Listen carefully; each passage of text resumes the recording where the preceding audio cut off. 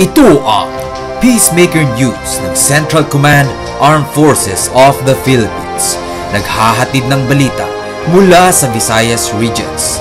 Nakatutok para sa pagkamit ng kapayapaan para sa bayan. CENTCOM kinunina ang karuwagan at kataksilan ng NPA sa pagpaslang sa dalawang tagapagtaguyod ng kapayapaan sa Bohol. Mariin na kinundinaan ng pamunuan ng Armed Forces of the Philippines Central Command o CENTCOM ang karuwagan at kataksilan ng New People's Army o NPA sa pagpaslang sa dalawang tagapagtaguyod ng kapayapaan sa Bohol noong araw ng lunes, April 28, 2021. Sa ipinalabas na payag ni Lieutenant General Roberto Angkan, binigyan din ito na ang CENTCOM ay nakikisa sa pamayanan na mapagmahal sa kapayapaan sa pagkundina sa pertraidor na ginawang pagpatay ng mga teroristang CPP-NPA sa mga hindi armadong sibilyan na sina Rolando Fornes at Jaime Cagatin at pagkasugat naman sa mga kasamahan nito na sina Michael Hinampas at Antonio Moring. Ayon sa ginawang investigasyon ng pulisya, mga biktima ay pauwi na mula sa barangay Aluha matapos makipagpulong sa mga residente doon at lulan sa dalawang motorsiklo ay pinagbabaril di umano ang mga ito ng anim na miyembro ng CPP-NPA sa hangganan ng barangay Aluha at Bambakay sa bayan ng Batuan dakong alas 4.30 ng hapon. Ang mga biktima ay dating miyembro ng Sentrong Alyansa ng Mamamayan para sa Bayan o Sambayanan, isang grupo ng dating rebelde na sumusuporta ngayon sa itinutulak na kapayapaan sa probinsya ng Bohol. Kaugnay nito sinabi ni Lieutenant General Angkan na ang pag-atake sa mga miyembro ng sambayanan ay nagsisiwalat lamang ng kanilang totoong pagkatao bilang mga terorista at bandido na nagpapanggap sa kanilang mga pamamaraan habang ang mga rebelde ay nakipaglaban sa isang nawawalang dahilan sa loob ng higit limampung taon. Central Command nagsuporta sa makasaysayang pagunita sa ikalimang daang taong pagkadaugan sa Mactan. Si Lapu-Lapu ay tinaguri ang unang bayaning Pilipino sa bansa na nakipaglaban sa mga dayuhang Espanyol para labanan ang pananakop nito na nangyari sa probinsya ng Cebu, particular na sa Mactan Island, limang daang taon na ang nakalipas. At bilang pagunita sa kabayanihan ni Lapu-Lapu, isa ang Central Command Armed Forces of the Philippines na inanyayahan ng lokal na pamahalaan ng Lapu-Lapu City na naging parte sa pagunita bilang pagpapakita sa kabayanihan ng modern day heroes bilang descendants sa pagpapatuloy sa kabayanihan ni Lapu-Lapu. Kasamang Central Command, pinangunahan ni Lieutenant General Roberto T. Angkan at lokal na pamahalaan ng Lapu-Lapu sa opening salvo ng kadaugan sa Mactan sa pamamagitan ng pagparada ng iba't ibang assets at capabilities ng CENTCOM mula sa Philippine Army, Philippine Navy at Philippine Air Force. Matagumpay din ang isinigawa na limang araw na photostatic display and exhibit na may temang Descendants of Lapu-Lapu Continuing the Legacy of Filipino Heroes na libreng makita ng publiko ang iba't ibang gamit o resources ng AFP na ginagamit para mapanatili ang kapayapaan at kaunlaran ng bansa, particular na sa Visayas region. Bahagi din sa pagunita ang pagsagawa ng photo contest na nilahukan ng mga partisipante mula sa Cebu Photographers Club na humakot ng mga parangal mula sa iba't ibang kategorya. AFP at Sambayanan nagpaabot ng tulong pinansyal sa pamilya ng mga biktima ng pananambang ng CPP-NP-NDF. Nagpaabot ng kanilang buong tulong pinansyal ang Central Command, Armed Forces of the Philippines, Civil Relations Service, CRCAP, at pamunuan ng Sentrong Alyansa ng Mamamayan para sa Bayan o Sambayanan sa pamilya ng mga nasawi at nasugatan sa pananambang ng mga kasapi ng teroristang CPP-NP-NDF. Ang naturang tulong pinansyal ay pinabot ng AFP sa pamamagitan ng 47 Infantry Battalion Philippine Army sa pamilya ng mga biktima kasabay ng pagbisita ni Bohol Governor Arjap sa burol ni Jaime Cagatin sa Sierra Bulyones kung saan personal na nakidalamhati ang gobernador sa pamilya ng biktima. Ipinahayag ni Yap na ang pagipagdalamhati ay hindi sapat upang maibsan ang lungkot na dadama ng pamilya sa pumanaw nilang mabuting ama at asawa kung saan natagpuan nito ang pagtulong para sa tunay na kapayapaan sa Bohol na tinatamasa ngayon ng mga Boholano. Inaasahan ni Yap na ang cash assistance na ipinarating ng gobyerno ay malaking tulong na rin sa mga pamilya ng biktima kung saan hindi nagtatapos dito ang pagtulong ng AFP pagkus ito ay panimula lamang upang makamtan ng pamilya ng mga biktimang hustisya na inaasam ng mga ito para panagutin sa batas ang mga teroristang NPA. Samantala, ang Sentrong Alyansa ng Mamamayan para sa Bayan o Sambayanan ay nakipag-ugnayan na rin sa mga pamilya ng mga namartir na mga kasama nila sa Sambayanan Bohol kung saan nakausap pa mismo ni Ka Eric Almendras, National Coordinator ng Sambayanan, ang mga pamilya ng mga namatay at mga nasugatang mga kasamahan nito bago pa man na ipaabot ang tulong ayuda ng Sambayanan, CRS at AFP. Napag-alaman na marubdob ang pasasalamat ang naging pagtanggap ng mga pamilya ng mga biktima sa ipinabot na tulong at pagipagdalamhati ng naturang mga grupo.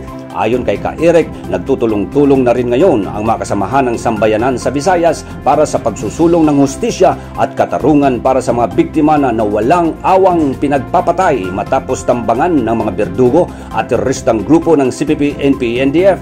Hinikayat rin ng pamunuan ng sambayanan ang mga kasamahan nito na mga dating rebelde na magpakatatag at lalo pang pag-alabin ang apoy ng kanilang pagsusumikap na maabot ng mga mamamayan ang tunay na kapayapaan sa pamamagitan ng kanilang pagpupunyagi na labanan ang mapangwasak at mapangis na CPP-NP-NDF at mga kasabwat nito. Central Command, ginawaran ng Wounded Personnel Medal ang isang sundalong opisyal. Ginawaran ni Lieutenant General Roberto T. Angkan, Commander Central Command, ng isang Wounded Personnel Medal ang isang sundalong opisyal na miyembro ng 50th Infantry Battalion ng Army's 3rd Infantry Division ng ika-28 ng Abril nitong taon. Si First Lieutenant Harley Kibod ay team leader ng kanilang grupong nakipagbakbakan sa grupo ng Rebelding New People's Army na sakop ng Kumiting Riyon Negros Cebu Bohol Sikihor noong siya ay nasugatan sa kasagsagan ng engkwentro sa bayan ng Hinubaan, Negros Occidental noong ikalabing pito ng Abril nitong taon. Ang Wounded Personnel Medal ay iginawad sa isang sundalo bilang pagkilala sa kanyang nagawang kabayanihan, kagitingan at katapangan sa pagganap ng kanyang tungkulin lalo na sa kumakalaban sa gobyerno. Daan-daang mga bulano nakilibing sa mga labi ng biktima ng pananambang ng mga teroristang NPA sa Bohol. Nagpakita ng kanilang pakikiramay ang daan-daang mga Boholano sa pamamagitan ng pakikilibing sa mga labi ng biktima ng pananambang ng mga teroristang CPP-NP-NDF sa probinsya ng Bohol. Ito ay matapos iatid sa huling hantungan ang labi ni Jaime Cagatin nitong biyernes kung saan sa araw ng linggo naman ililibing ang labi ng kasamahan nito na si Rolando Pornes. Sina Cagatin at Pornes ay membro ng Sentrong Alyansa ng Mamamayan para sa Bayan ng Sambayanan, isang organisasyon ng mga dating rebelde na sumuko at nagbalik loob upang yakapin at tulungan ng gobyerno na makamit ang tunay na kapayapaan sa pamamagitan ng kanilang paglalahad sa katotohanan hinggil sa patuloy na pagmamaskara, panlilinglang at maitim na balak ng CPP-NPA at mga kaalyado nito na wasakin ang demokrasya at gobyerno sa kaparaanan ng madugong pakikibaka at pag-aaklas ng mga mamamayan. Matatandaan na sina Michael Hinampas at Antonio Moreng ay nasugatan din sa naturang pananambang habang papauwi ang mga biktima mula sa barangay Aluha matapos makipagpulong sa mga residente doon upang mabigyang babala laban sa paglabas-masok ng mga turistang NPA at patuloy na pagkikayat sa pamayanan na sumapi sa kanilang hanay. Lulan sa dalawang motorsiklo at pinagbabaril ang mga biktima ng anim na armadong CPP-NPA na sa hangganan ng barangay Aluhat, Bambakay sa bayan ng Batuan dakong alas 4.30 ng hapon.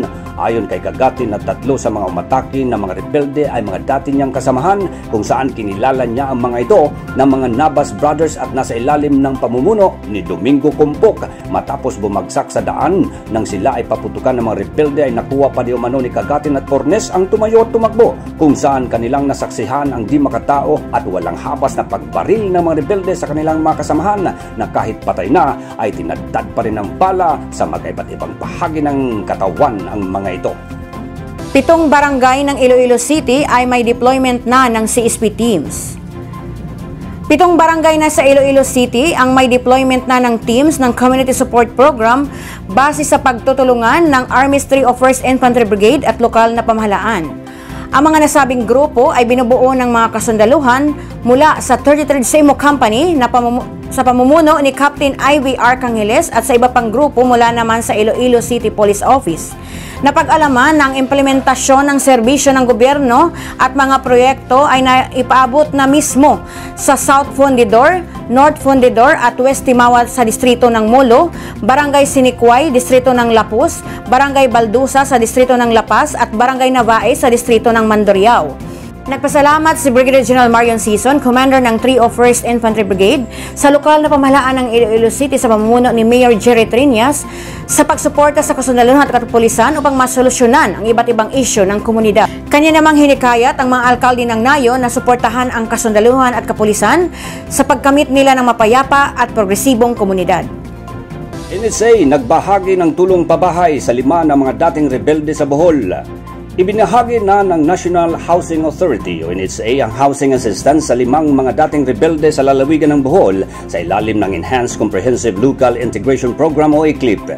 Umaabot sa isang daang libong piso ang naibigay ng NHA sa bawat benepisyaryo ng ECLIP kung saan personal ng tanggap ng mga dating rebelde na nagbalik loob sa gobyerno ang naturang tulong upang magamit nila ang halaga sa pagpapaayos sa kanilang mga tirahan. Ang paggawad ng housing assistance ay pinangunahan mismo ni NHA Bohol District Manager Ms. Grace Soles kasama ang kanyang mga staff at hipi ng OPSW na si Ms. Carmelita Tixon, Governor Art Yap, Kalapi Mayor Engineer Nelson Yu, First District Board Member Boss Ricky Masamayor at First District Board Member Aldner Damalerio.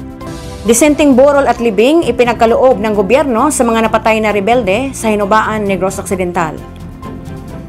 Pinagkalooban ng disenteng borol at libing ng 50th Infantry Battalion, Philippine National Police at lokal na pamahalaan ng Hinubaan ang napatay na rebelde sa naganap na engkwentro laban sa kasundaluhan.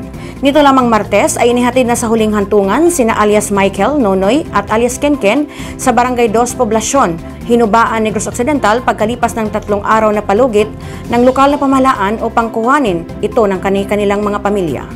Ayon kay Mayor Ernesto Estrao sa bayan ng Hinubaan, ang lokal na pamahalaan kasama ng kasundaluhan at kapulisan ay nagsikap para mabigyan ng disenteng burol at libing ang mga napaslang na rebelde at bilang pagrespeto sa kanilang pagkatao at pagiging kapwa Pilipino. Ayon pa kay Mayor Estrao, mariin niyang kinundina ang presensya ng rebelding grupo sa kanilang bayan dahil sa dala nitong pangamba at kaguluhan sa kanyang nasasakupan.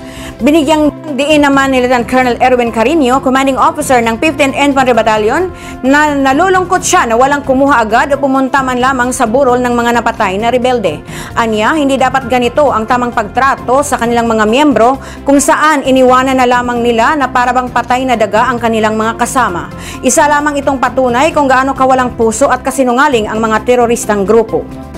Lima pang mga rebuilding NPA ang sumuko sa Ilagang Samar at Leyte hindi bababa sa limang mga rebelde sa Ilagang Samar at mga lalawigan ng Leyte ang sumuko sa mga pulis noong Miyerkules na nagpapahiwatig na lumiliit na lakas ng komunistang teroristang grupo sa silangang kabisayaan ng Rion 8. Iniulat ng Philippine National Police PNP na apat na mga rebelde ang sumuko sa Lavizares Northern Samar at isa sa Leyte Leyte. Ang mga dating rebelde ay nagsuko din ng iba't ibang mga baril sa mga unit ng pulisya. Ang mga sumuko ay nakilala sa hindi nilang tunay na pangalan na si Daniel 25 taong gulang at pinuno ng pangkat ng NPA sa lalawigan. Christine 27 taong gulang ay kasapi ng unit militia ng NPA. Alex 28 taong gulang, miyembro ng Makabayan Northern Samar at John John 40 taong gulang, miyembro ng unit militia ng NPA. Lahat sila ay tubong Lupi de Viga, Hilagang Samar. Ito ang Peacemaker News ng Central Command Armed Forces of the Philippines. Naghahatid ng balita mula sa Visayas Regions. Nakatutok para sa pagkamit ng kapayapaan para sa bayan.